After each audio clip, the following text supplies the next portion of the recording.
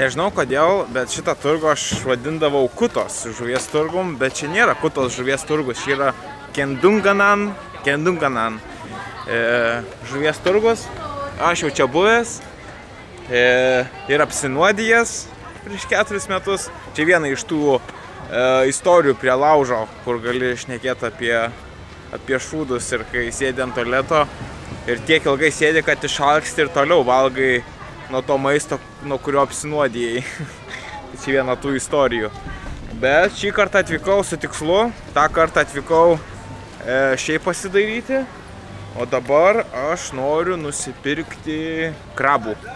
Jau galvojau daugiau, daugiau negu mėnesį apie tai, noriu išmokti kaip taisyklingai ir pilnai reikia suvalgyti krabą, nes mes dažniausiai, aišku, mes Lietuvoje turim tik tais vėžius, Ir tai dauguma mūsų nemoka jų valgyti, krabų taip pat. Kaip tą visą pilnai mėsą išrinkti. Tai aš jau, kai su matro įminiau dviratį, galvau, nu blemačkai, kai būsiu balyje, nusipirksiu krabų, išsivirsiu, pavalgysiu. Tai varom į žuvies turgų. Žuvytės daug. Pakankamai šviežia, turbūt. Beveik visa šviežia.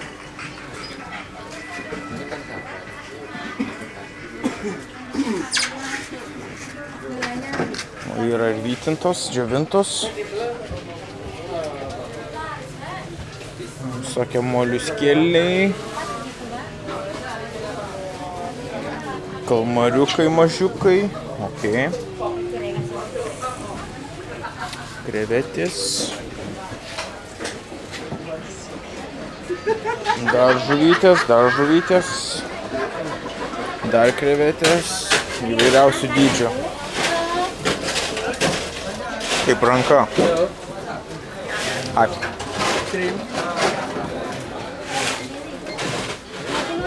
Čia jau didžiulės, didžiulės. O tokį išrūkyti. Gerai būtų. Truputį spalvotų žuvyčių. Tada turėtume prieiti ir krabų. Ir omarų.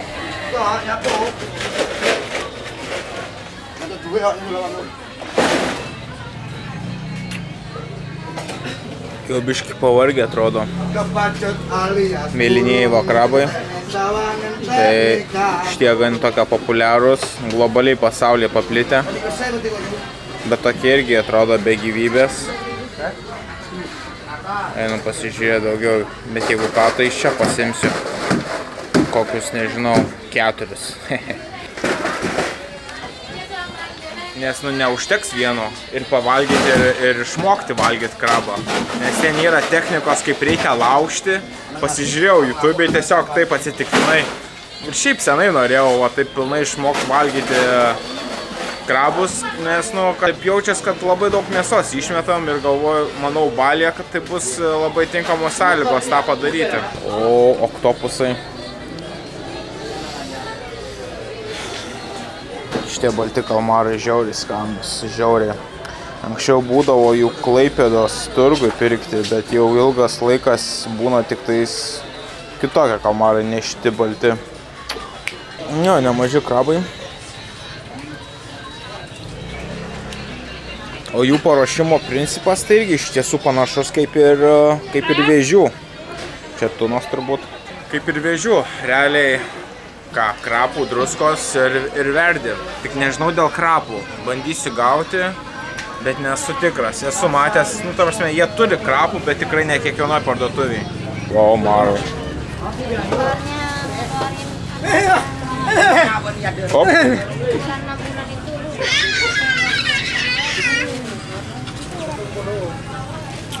Raudona mėsa.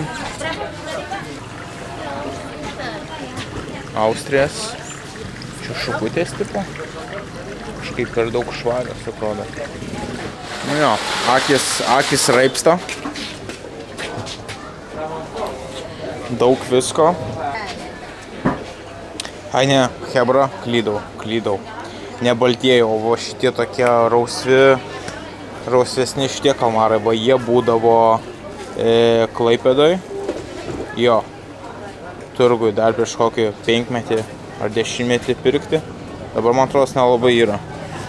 O tie baltieji, kaip tik jie nelabai tokie, biški guminiai. Nu, o pilna krabų, šitie tokie mažesni. Čia yra visokiausių dydžių.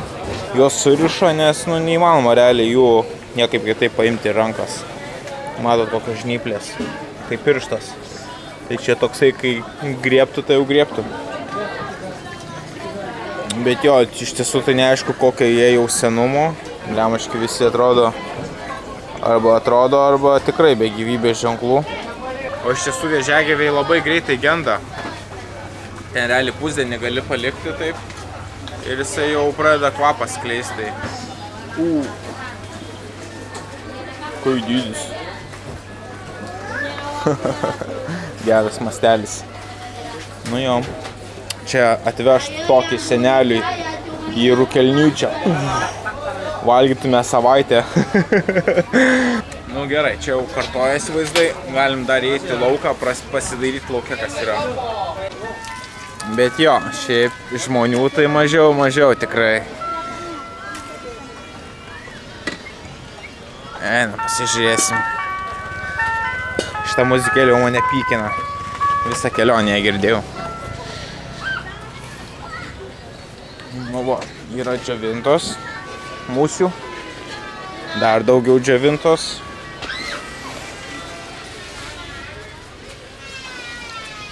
Čia biškis smulkesnės žuvės. Viskas aplipia mūsiam. Na čia turbūt tie, kurie gali sauliaisti nuomotis vietą, tai varo tenais į vidų po, po stogu, kur buvau. Na, kurie jau negali sauliaisti tiek, tada būna ant lauko, po, po, po skėčius tiesiog. Čia kažkas.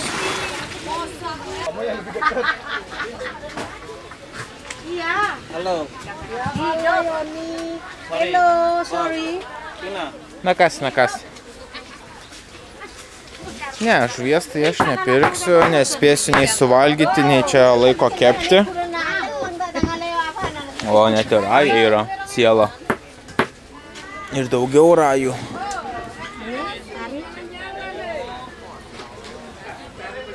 Gal kas, gal kas nors žino rajų receptą, kaip iškepti? nu va, visas valčių komplektas. Ir kažkaip, kai galvojau, ieškau kutos uh, žuvies turgaus pragulgų mepsus, nes vietos neatsimenu, kad nėra, nėra, nėra, niekur nėra. Nu, blemiškai, galvoju, kur tas čia buvo tas turgus, nes ten žemėlapio nebuvau užsižymėjęs. Ir paskui atsiminiau, kai aš valgiau čia nais ir matydavau, kaip lėktuvai skrenda. O čia oro uostas yra tik vienintelis Dempasarė, prie Dempasaro. Ir tada jau, o, okei, okay, čia oro uostas, čia Ava radau. Jo, tai prieš keturis metus aš čia nusipirkau tokių žiauriai skanių tešloje keptų tempė. Tokie, žodžiu, tokie tešloje kepti grūdeliai. Ir aš manau apsinuodėjau nuo, nuo pinigų tiesiog. Nemanau, kad maistas ten vis prie, prie manęs iškepė, įdėjau maišiuką ir padavė. Suvalgau kokius 3-4 žiauriai geri. Ir paskui važiuoju iki namų vieną valandą taip suka pilvą ir paskui ant tiek jau suka, tiek skauda, kad vos spėjau davažiuoti iki namų, kai sėdau ant puodo, praėjo pusvalandis, praėjo valanda, vėlia kaip skauda, net atsikelt negaliu. Praėjo pusantros valandos ir aš toksai blemba, jau kaip ir valgyt noriu. Atsikėliau nuo puodo, nuėjau, pasiėmiau tos tuos skrebučius, tą tempę keptą, grįžau ant puodo, atsisėdau ir, ir toliau pradėjau valgyti. Aišku, rankas nusiplovęs, nes manau tiesiog nuo pinigų daviau pinigus, gal, o čia, žinot, bakterijų tai va. Ir gal pasigavau kokią bacilą, paskui porą tablečių nuo viduriavimo ir dar dvi valandos ir jau kaip sveikas gyvas. Tai sakau, čia viena iš tų istorijų prie laužo, kur gali draugam pasakot. Ačiū pabaiga. Pabaiga. Nu, einam tada, pasimsim tuos krabus. Imsim didelius, kad daug mėsos. Ir šiandien po pietų ar vakarą išsivirsiu. O čia šitas e, milnasis marlinas, marlin, ar kaip jisai vadinasi. Bet esmė, kai jį pagauni, ir ištrauki krantą ar valtį, iš karto praranda spalvą. O, yra ir rykliuko. Žodžiu. It's okay, 150, and I will, I will take four. For 4 kilo, 150, yeah. And I will take four, four crabs. one, no 60, 160, 75. 60, 60. Oh, And I will take four. 165. 165? Yeah. Hey, 60. 65. 75. No, 65, and I will take four crabs. Juta lima, satu juta lima. 70. 70. Okay, Okay. okay. Bigger? Yeah, yeah, One? bigger, bigger. Aku yuk. Four pieces nang. 4 kilo. Fuck you. I'll take four, four crabs. Go for crab. Four crabs, yeah. So, yeah, maybe bigger. Bigger. Yeah. Four kilo matamu, wele wele. Itu cewek gue lah. Berapa kabar orang Kas čia gaunas 1,9 kilo. Ja, ok. Jo, kilas, kilas 900. Nu va, turiu beveik 2 kilus krabų. Kas čia man gavosi apie 20 eurų. Maždaug jo kilogramas maždaug 10 eurų krabo. Tik tais va, šiaip krabas beveik visą susivalgo. Tai nebus tik tais kojytės ar žnyplės, bus ir pats kūnas, tai išvirsim, pabandysim pralaužti visą ir išmokti, kaip iš tiesų reikia valgyti krabą. Taip, taip, taip. Kadangi dar važiuosim į kitą vietą, tai man reikia... Man reikia padėti krabus į, į vandenį, bet aš nieko, jokio puodo didelio neturiu. Net šitas turbūt bus puodas per mažas jiems įvirti. Jo, ir kibiriuko jokio neturiu. Hm. Nes krabai tai... Nema, geriau juos įdėti į vandenį. Dar čia užtruks, kol...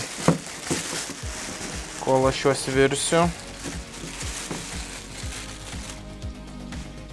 Taip, su... Viens.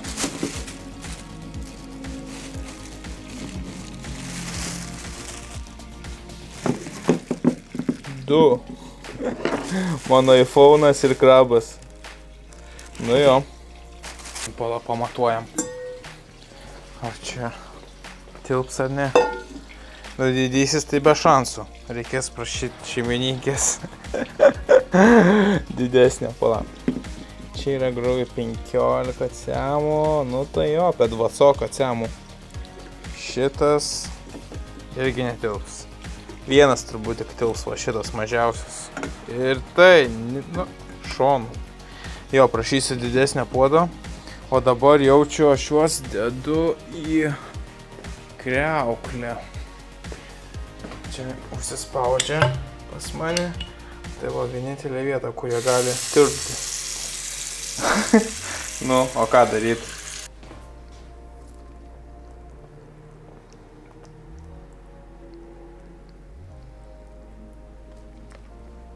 Nu va, pats tas. Keturi krabai vienoj kreuklėje. Gerai, šviežias vandenukas, biškiai atsigaus jie. nu, nes sakau, jie kai žūsta, kai miršta labai greitai, mėsa sugenda, topsime, jie patys sugenda ir tu gali juos virt, gali valgyti, bet jau skonis visai ne kažką. Reikia jau laikyti juos, juos gyvus. Čia ne žuvis, kad užmušiai ir ten gali kepti, nežinau, įmesi į šaldytuvą ar ten kamerą ir paskui po kelių dienų iškepsi. Su didžiais krabais nelabai. Uždarom duris, nes iš tiesų iš čia tai nemažai šilmos ateina į kambarį. Griebiam droną ir važiuojam tolyn.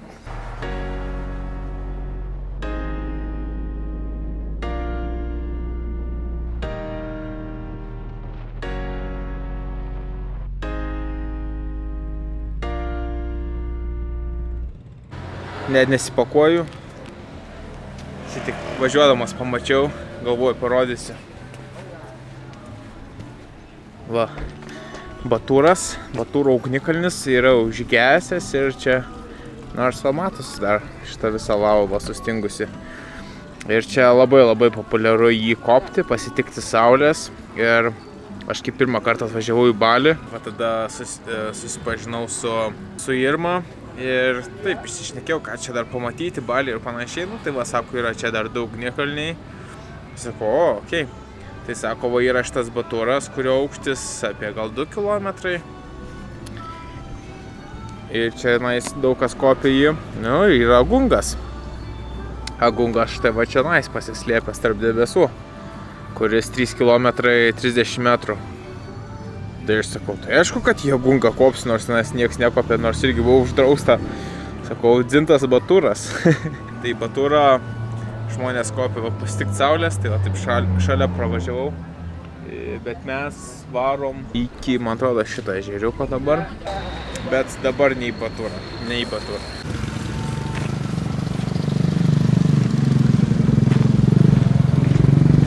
Nu, va, viską suderinau, ta prasme atvažiavau. Yeah. Yeah.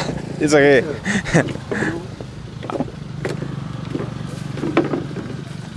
Atvažiavau random prie žmonių. Sakau, plukdot į Trojano kapines. Jo, sako, okei. Okay. Tai tiesiog tai va, viskas random. Tuoj suderins valtelę ir trauksime į kitą krantą.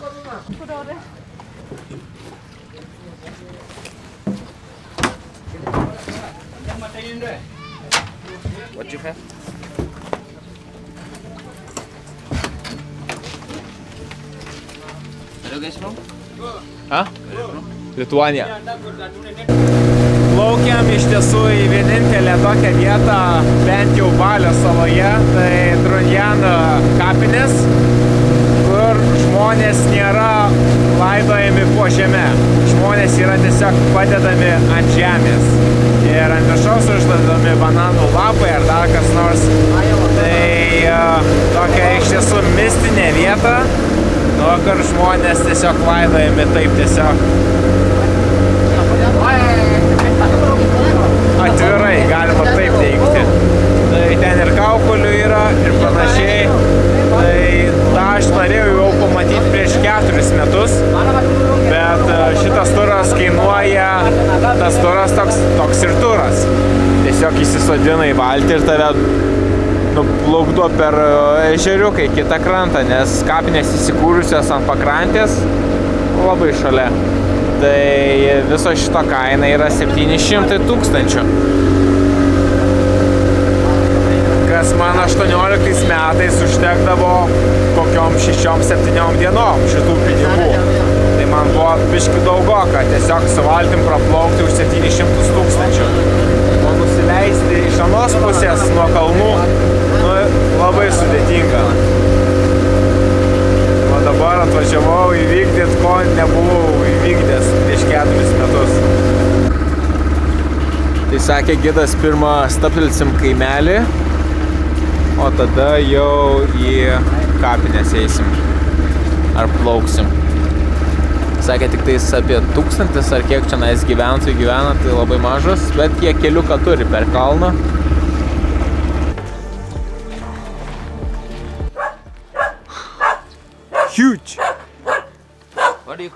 In Romania? In Lithuania, In uh, in Lit- Lithuania, what do you call it? spiders? Same? Yeah, spider. What do you- Spider? Yeah, spider. I mean, we speak in Lithuanian. In Yeah. Lithuania, we speak Lithuanian, so it's voras. War. Voras. Boras. Voras. Boras. There's a lot of boras here. Holy shit. Hah? Order bang kumah? Oh kumah. Oh tuh ajak dia ni. Does these spiders are poisonous? No. No? Just a little bit. It's it's not poisonous. Just a little bit bite. But just no. bite, yeah. Just bite. It's not poisonous. Like bee. Yeah, like bee.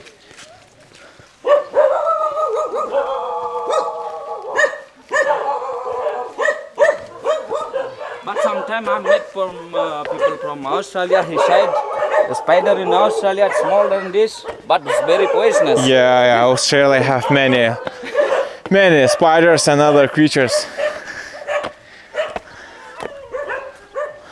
Yeah, this is the main temple here. This is the biggest temple here, just for this village. Only one big temple like this. Hmm. Yeah. I think every five years here we have like uh, festival here. Have someone make like a dance with uh, with a mask. The, the uniform is not like a normal uniform. Yeah. The, uni- the uniform come from like uh, old leaf from the banana trees. It's, it's, it's in the special day.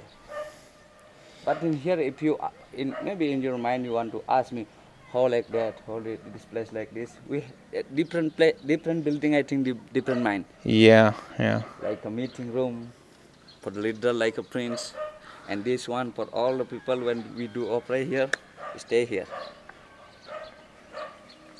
And how how many say people living there? Huh? How many people in this village? I think I think less than uh, thousand, around 850. I think it's not so many. Uh, Because when the young people they study is not here, they go to Denpasar for university. yeah, yeah, yeah. Yeah. So, for such a f- small village, is not so not so small. Yeah, Temple. a temple, I think. Temple is yeah quite impressive.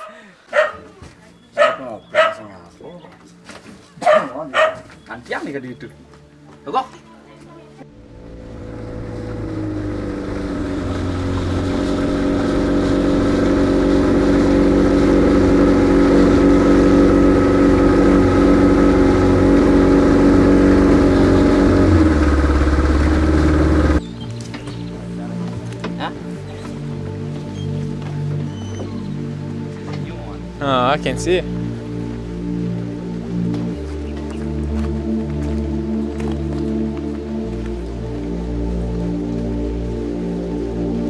Do not talk dirty.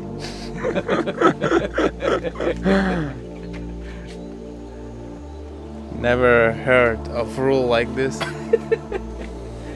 Don't talk, don't, don't take an item like this. Uh, damn.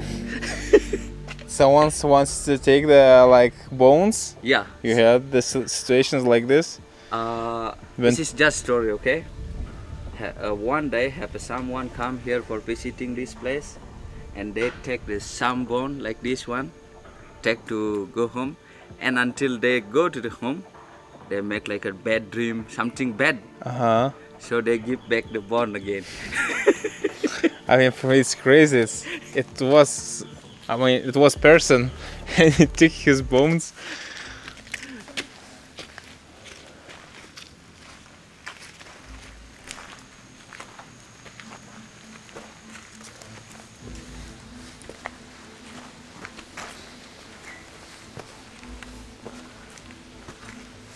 this is bone.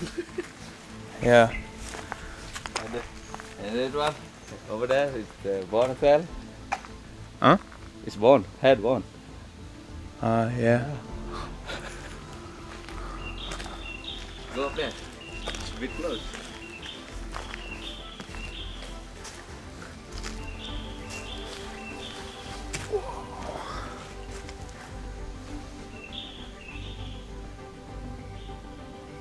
How how old this this is This is cemetery. this cemetery?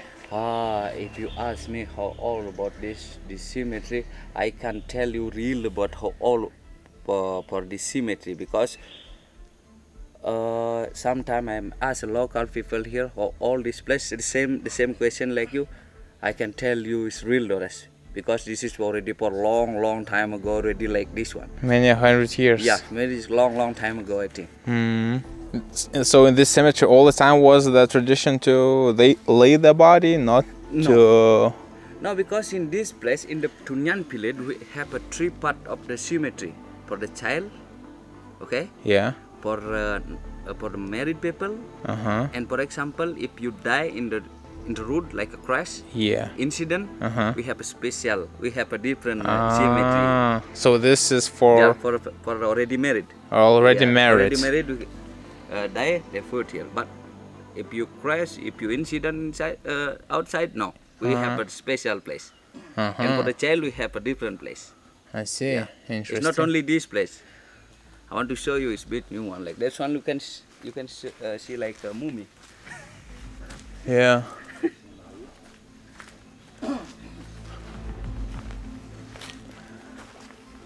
It's a real body. Yeah, I understand.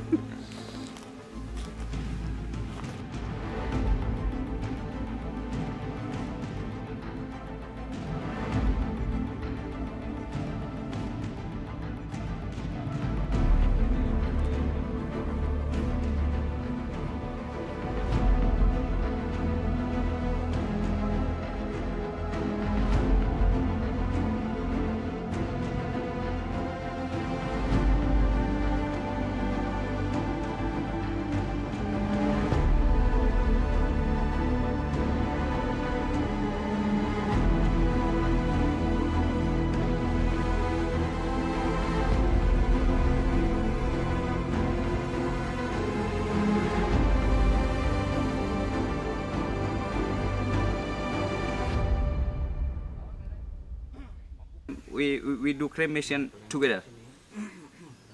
But in the other place, the other village, I mean, depend. If you have a good economic, good money, you can uh, make a ceremony by yourself. yeah. yeah but if if you don't mind you have to wait in my in my place we have to wait around five years so we make a ceremony together Hmm. so we like uh, we have uh, 10, 10 million 10 million collect Collect. yeah collect Yeah. Pasikaukulė. Guli. Eik su.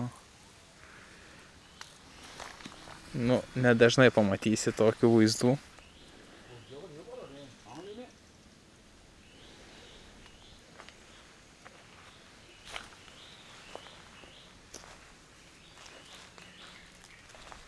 Normally we have any animal here like a monkey like like a small bird like Uh-huh. something like animal. So they attacking the dead bodies? no No. no they just taking like uh, Uh, some trash. yeah some trash Mm. If you ask me why the, the body here is not a strong small smile, I mean, because of these trees. Uh-huh. Yeah, because I think this trees have a long, long story. I think if you ask me, because in this trees, the, normally the smile, sometimes the smile, like a perfume. Ah, So for cover this body, so the smile is not so strong. yeah. Yeah. If I you- heard I heard the you heard story about the about this tree that Yeah. it's like special tree which is collecting everything, Everything. from from dead bodies. Yeah. yeah. the the the tree is like from Avatar movie. It's uh, it's a blue human. yeah, yeah, true, true. But I think it's this tree. This tree, I think it's not too high. But Yeah, it's it's very wide and Yeah, a lot of bit wide, I roots, a lot of roots. Yeah, impressive. So, Yeah. so basically, all these uh, people only from that village, yeah. only from village. only from that village. It's not from the other village. Mm-hmm. Because in that village, uh, when they have a someone there, there in, the, in that village, we take the body by boat. By boat. By boat. Yeah. Interesting. And in general, Indonesia have more cemeteries like this. No, just this. I know In, just in all Indonesia. in all in ah no in Toraja. Toraja. Toraja dia aja Toraja ni. In Toraja, I think uh, the Minang. Minang. You know Minang? No. I think it's not only Bali anymore. Like uh, Sulawesi apa? Apa to? Yeah, it's have a, s- have a island in uh, it's out of this place like uh, Java something like that. Yeah. It, I call that Toraja Island. It's, Uh-huh. it Toraja. The tradition, the process almost the same like The this same. one. The same. Because for example, they have someone die they put up there like a building. Uh, I heard. I heard that. You heard that? I heard that they just uh, hanging uh, Yeah. on the ropes. On the roof. Yeah. Holy, yeah. that's like this one, they take, they put.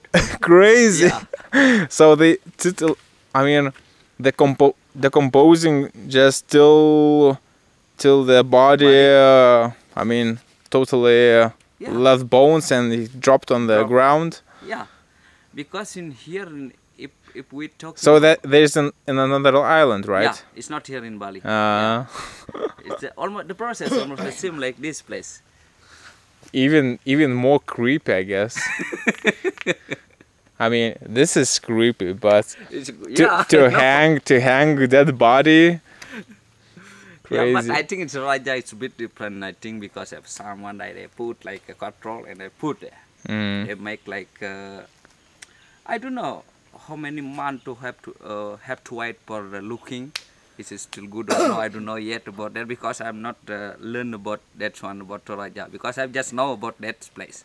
And and uh, so, how many said you months you have to wait that uh, body totally decomposing? Uh, depend, depend. I think sometimes depend. Sometimes have a year, sometimes seven, nine months. six, Nine months Sometimes yeah, Dep- depend of the body. of the body, yeah. De- depend of the body. Mm. From from the skin to totally bone. Yeah, because sometimes, for example, if I young, I young, I'm already married, I'm die, I'm put here. For example, have a someone is a little bit older than me, maybe they have like uh, 90, uh, 90 years old. It's older. I think it's bit uh, faster than me. hmm Yeah, because they already old. Uh, I don't think so. I mean, it's.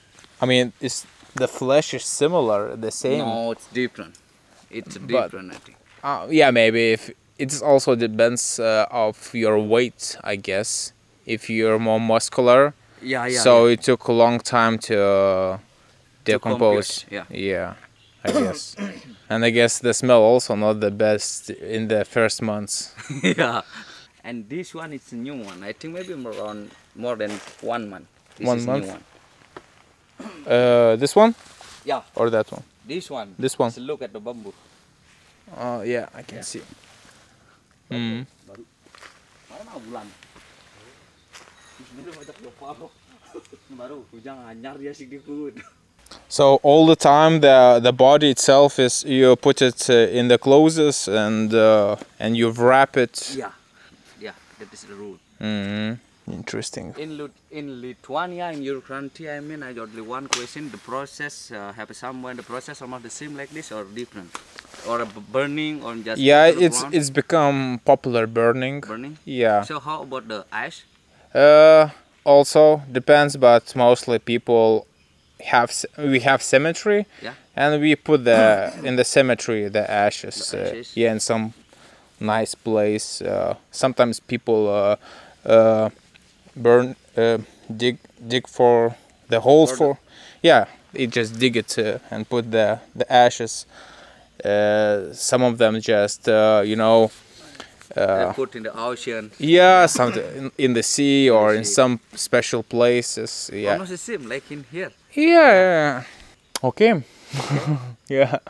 Was nice and So how- interesting. So I, I, I I ask you, how about this place? What do you think about this place? I mean, it's I guess quite creepy. quite creepy. But uh, what I recognized about in Indonesia, it's totally the people thinking about the death and and the cemetery and all that procedure totally different than European. You know. Yeah. in European we, maybe we more sad and so on. And here people uh, they just more acceptable of the Yeah. death. Bec- because you know, sometimes the people in here, for example, I don't have uh, no father anymore. Okay, because sometimes I'm thinking about the process, where the human life, where you born. Mhm. I think it's nobody know about the reason why I born again. I Yeah. don't know before, because we born where to die. But sometimes we have to to do something good. I think now back to karma. Mm-hmm. I'm never scared. I'm never afraid when I want to die. I'm never scared. I don't, don't think about that because nobody knows about that. Yeah. We have to wait. What do you wait? Just process. Just procedure. Mm. You die, don't cry. Yeah. Just routine Yeah. and life circle, Yeah, like a circle. like a circle. Yeah. And uh, you know how many people there are totally? I don't know. Laying- What totally, it's real totally that one. I don't know about that one. I guess I guess after many years and years also and bo- bones bones decomposing. Ma- Yeah.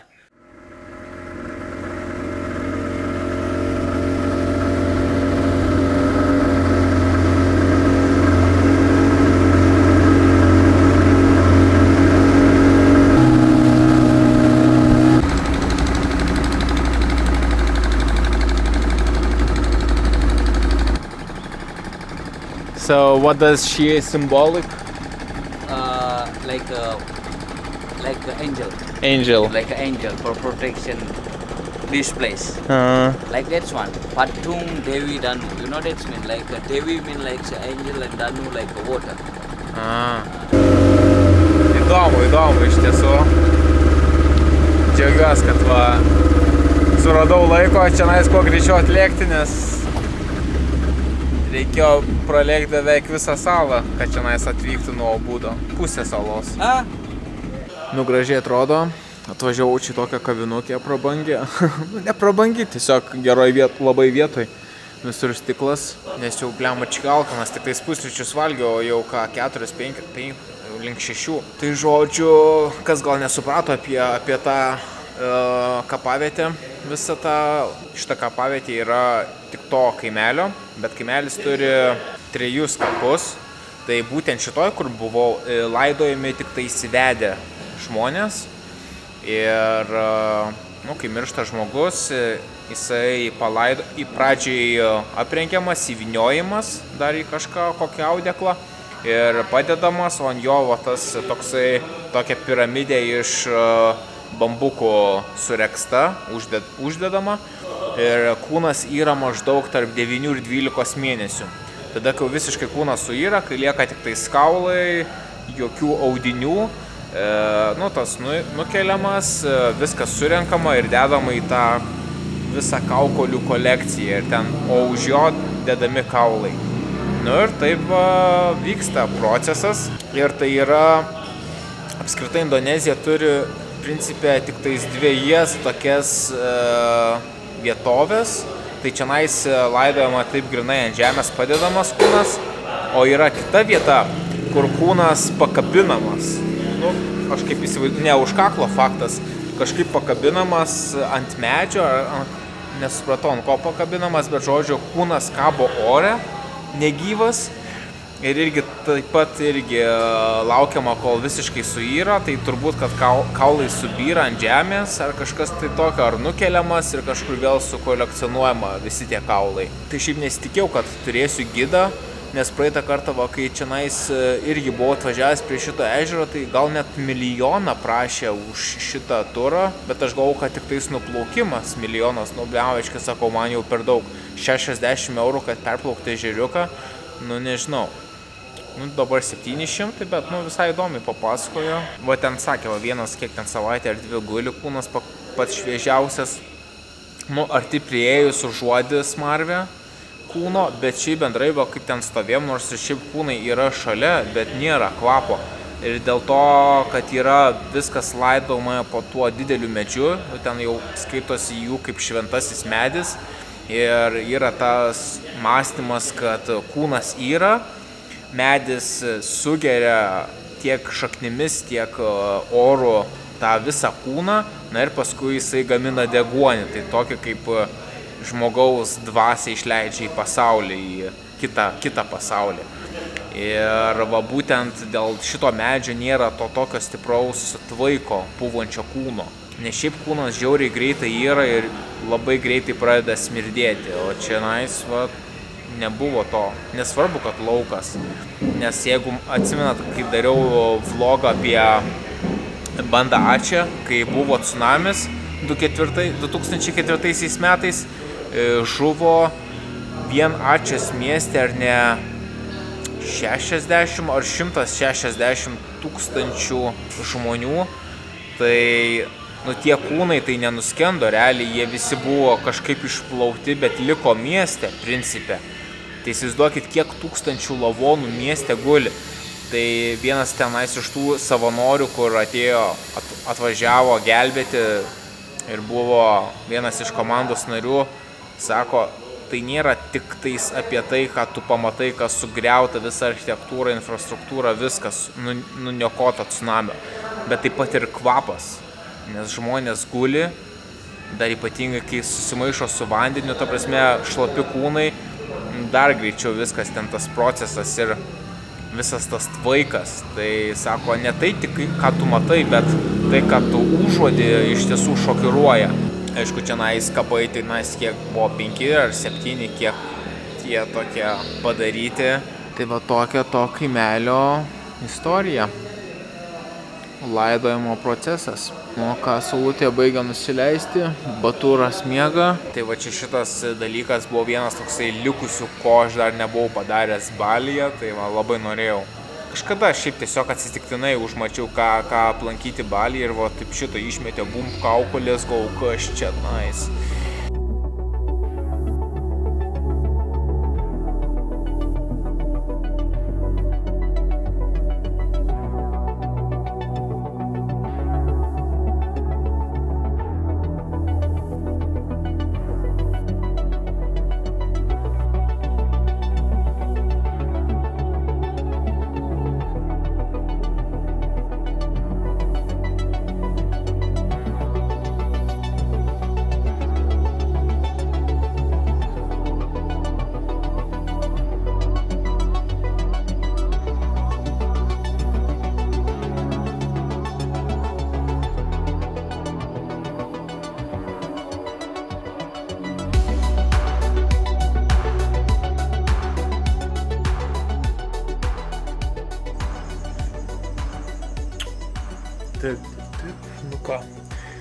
Įdomi dienelė šiandien, įdomi tematika.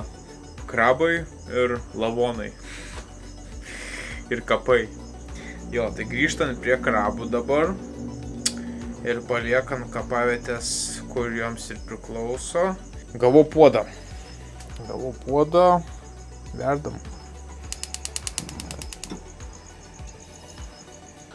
Virsim. Krapų negavau, ne... tiesą, tiesą sakant, net nevažiavau ieškoti. Taip tiesiai nuo, nuo kapinio tvariau, tai tiesiog su druska. Nu nieko. Bus vis tiek geras skonis. Dabar čia nais bus kulinarijos laida. Išsivirk vėžį. Krabą. Krabą. Sakau vėžį, nes dabar pasiskaičiau lietuvišką receptą dėl vėžių, tai 3 kg vėžiams reikia 5 litrų vandens, 5 šaukštų druskos. Mes turim 2 kg krabų, tai manau, kokių turbūt 4 šaukštų užteks druskos. Laimėje aš druskos turiu. Turiu nuo tada, kai nusipirkau prieš kelionę, kai galvojom dėl tų visų gyvačių ir panašiai. Nu, porą kartų pyliau aplink palapinę nuo gyvačių, bet daugiau taip ir nepanaudojau, tai va dabar panaudosiu 5 šaukštus. Dar rašo 20 gramų, 20 juodųjų pipirų grūdelių. Nei tų neturiu, nei citrinos neturiu, nei lauro lapų neturiu. Žodžiu, aš kaip neandertalietis laukiniškai pavalgysim tos krabus. Skonis vis tiek bus geras, o čia man esmė išmokti kaip pralaužti, nes yra tam tikri taškai ir laužimo metodai, kaip tu gali pilnai išimti mėsą. Va čia yra šito viso proceso esmė.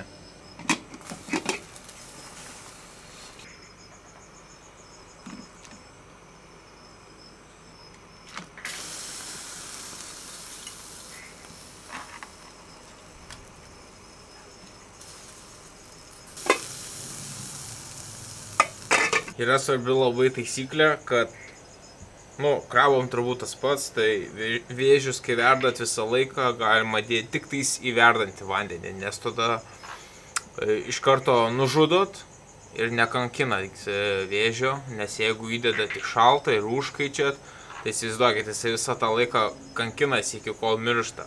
O kai užverda, vė- vėžį įmeti, ar, šiuo metu krabą tada negyvas, nu, žodžiu nekankinat. Tai dabar, šiaip nežinau, rašė vėžius, kurie yra tokie dideli, tarp 100 ir 110 gramų iki 25 minučių. Šitie vėžiai yra maždaug 4-500 gramų, tai aš manau, pusvalanduko tikrai reikia ir gal užteks pusvalandį. Nes mėsos daug, sunkus jie dideli, keltas kur kas storesnis, 3 minučių, nežinau.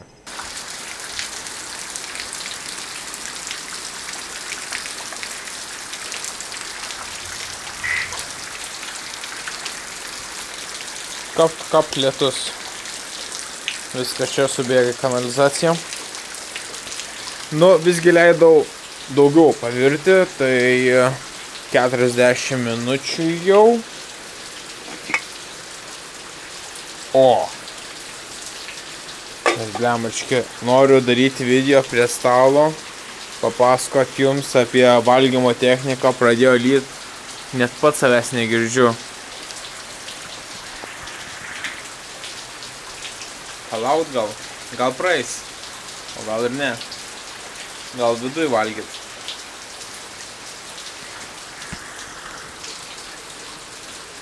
Biški pasitaškė čia nais vandens, tai dabar druska visur.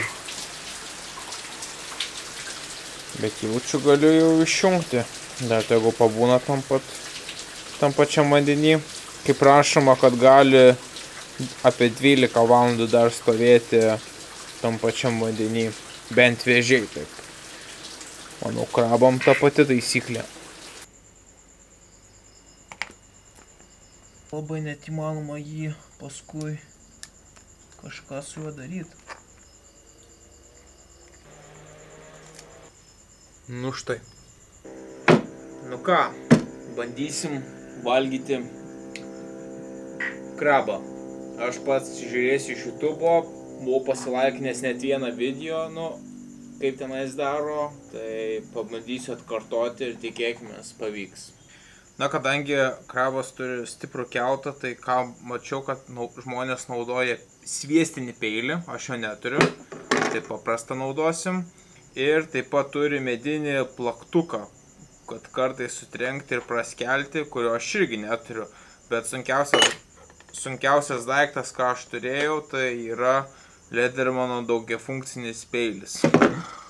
Verčiu krabą kurio jau žnyplės krenta, kas yra visai gerai. E, laužiam didžiasias, per sanarį reikia nusukti ir gražiai išsiema kartu su mėsytė. Eik savo, kai mėsos. Taip, turim žnyplę, apverčiam vidinę dalį ir daužiam vieną gerą kirtį per vidurį zonos Dėj, blemba čia storesnis keutas. Labai storas.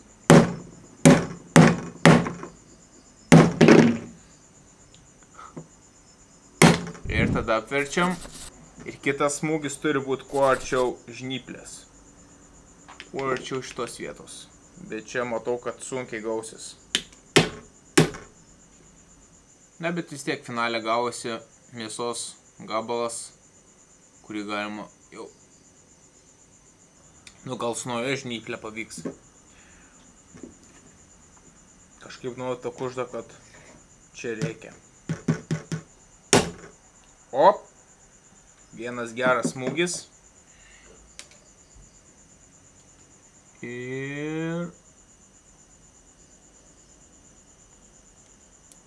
čia jau suskilo viskas, nusidengia, biški dar lieka ant keuto ir dar galima apdaužyti aplinkui kuo daugiau. Nu, čia nais gaunasi improvizacija labiau, bet plus, ką, ką supratau, kad nereikia skubėti rauti iš sanario, kaip mes esame pratę raunį ir ištraukti ir neberanda mėsos, nes mėsa viduje lieka. Tai pirmą reikia suskaldyti. Ir dauguma daro tą iš vidinės pusės, ne iš išorinės.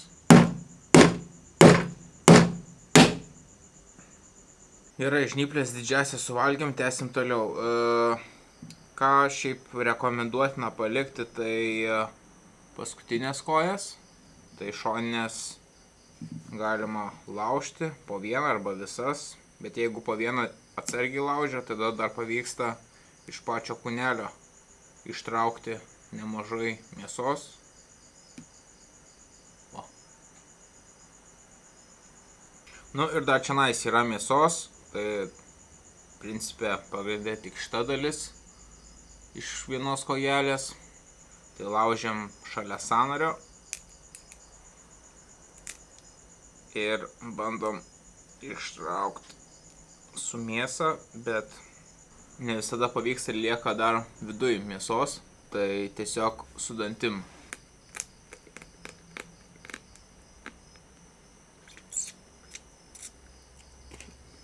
Tiesiog stiprėjimo po truputį spaudžiant mėsą tiesiog išspaudžiate. Ne, vis tiek atsiskiria mėsa. Nu, čia toksai krabas, kur kietas labai kevalas, kitų, sakau, būna minkštesni. Nu, dabar darysiu to, ko niekada nesu daręs. Tai atversim krabo kūną ir pagal tai, kiek žiūrėjau, tenais yra nemažai mėsos. Mums reikės peilio, geriau, kad būtų smailesnis, bet turiu, ką turiu. Ir čia yra tokia va, V forma, A forma, užkišat peilį lengvai ir laužėt. Nu ir šitą tiesiog paprasčiausiai nulaužėte ir kiek įsitraukia tiek. Čia nais yra organai. Tik kažkaip čia jis man nelabai nori nusimti. O.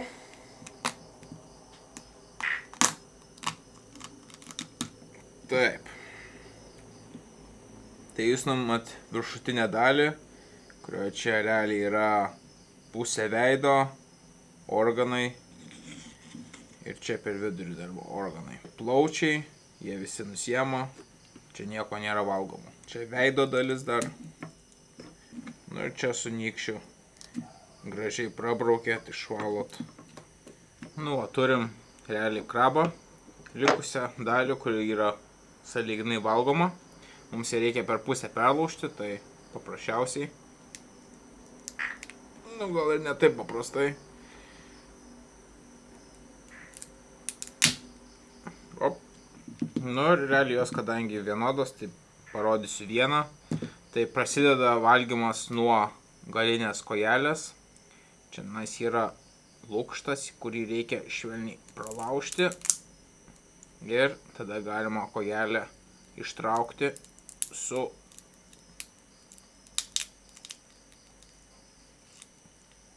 gera dozė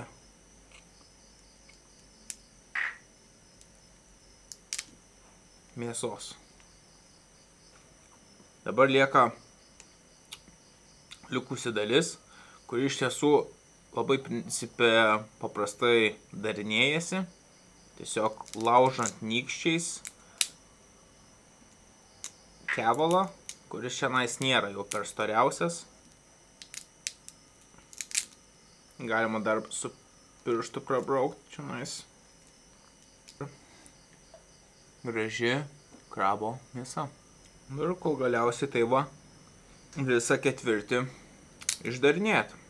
Čianais toksai visas guzas plonyčiai kevalėliai tokie, tokios sekcijos, tarp kurių ir yra mėsa. Tikiuosi kažkiek patiko, kažkas buvo įdomu. Nu, šiaip tais dažniausiai sakom, kad, nu, vėžėjai, krabai, nu, nėra maistas, tai tik tais kažkoks užkandis. Bet aš manau, tai labai lemia nuo to, kiek mes mokam iš tiesų va išdarinėti tą krabą. Jeigu mes tik suvalgom žnyplės, tai taip, tada, tada nežinau, kiek turi pavalgyti, kad būtum sotus.